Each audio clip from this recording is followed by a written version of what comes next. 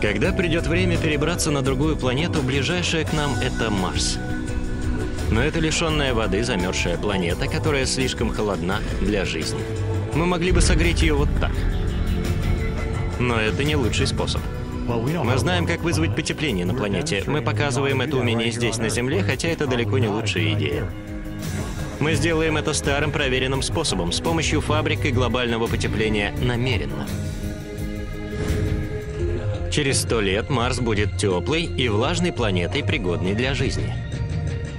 Этот процесс называется терраформированием и кажется научной фантастикой, но, возможно, он станет реальностью на одной из ближайших планет быстрее, чем вы думаете. Это произойдет не через 500 лет, а при нашей жизни. Мы будем жить на Марсе. Место жительства — Марс.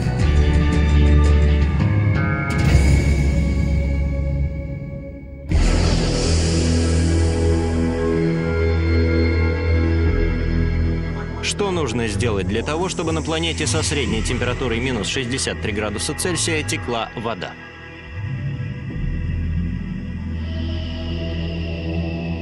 И чтобы голый камень и пыль превратились в плодородную